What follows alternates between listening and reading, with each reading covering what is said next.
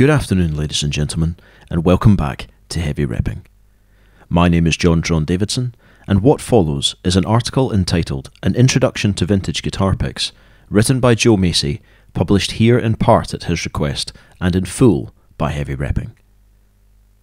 If you would like any more information on vintage picks, please visit Joe's YouTube channel at the link in the description or visit heavyrepping.com for the complete text based article.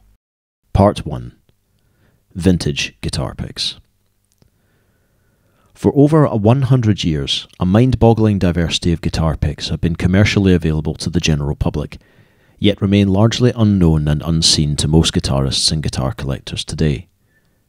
This is understandable considering most picks, branded, having a logo, or not, have a period of retail availability under 10 years, with many styles being offered for a few years or less.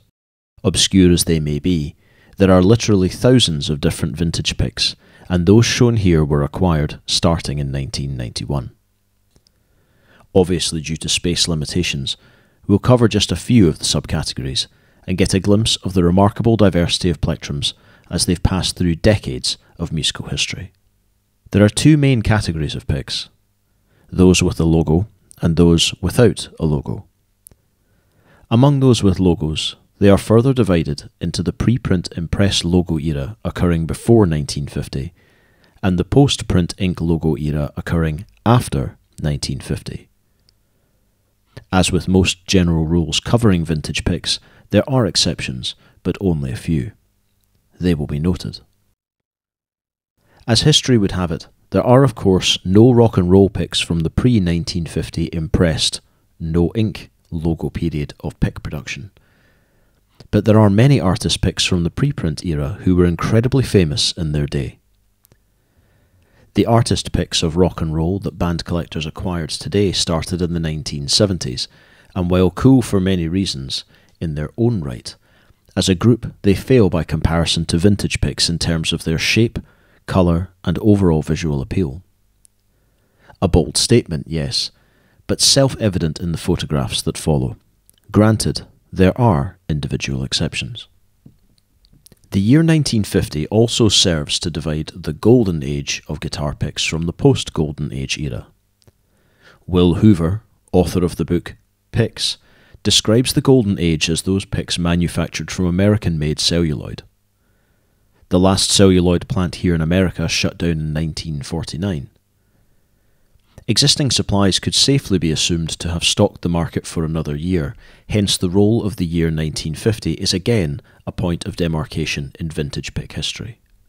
Prior to 1980, commercial guitar picks were branded with logos that included just four main categories artists, guitar companies, wholesale distributors and their name brands, and the names of the guitar manufacturers who made everyone else's picks. Between 1980 and 2000, those categories expanded, and after 2000, those categories exploded to include every conceivable natural, cultural, and commercial theme imaginable. As with vintage guitars, vintage picks are also fixed in time and cannot be redone, changed, or remade, which lends to their innate authenticity.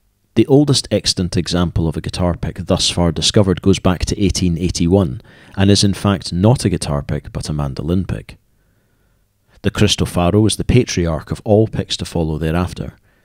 But this begs the question of how do we know the history or age of a pick? For the Cristofaro, it is explained later on in the legend. The most common methods of authentication include patents, trademarks, musical instrument catalogues, jobbers, and cross correlation with pick guards, which are also made of the same celluloid picks are made of know the year a guitar with a distinct tortoise pickguard was produced, and you know the period of time in which picks made of the same celluloid also appeared. Also useful are cross correlations by distinct shape, style, and colour patterns. The memories of elders who served in the musical instrument industry have also clarified previously difficult to identify picks.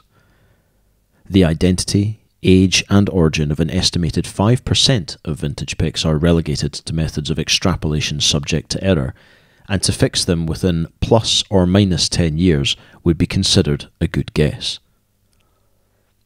Fortunately, this probability of error mainly occurs with unbranded or no logo picks with characteristics that cannot be cross correlated with other vintage picks, so their actual numbers are small. No preference has been given to any particular brand. Fender and Gibson alone could have commanded this entire article as they garner the greatest attention as well as having a remarkable range of vintage pick types, but our focus here is diversity. The category of guitar brands in general is given first highlight, but it should be noted that all the other categories have a near equal or greater range of diverse styles, with some far more attractive than anything offered by the guitar companies.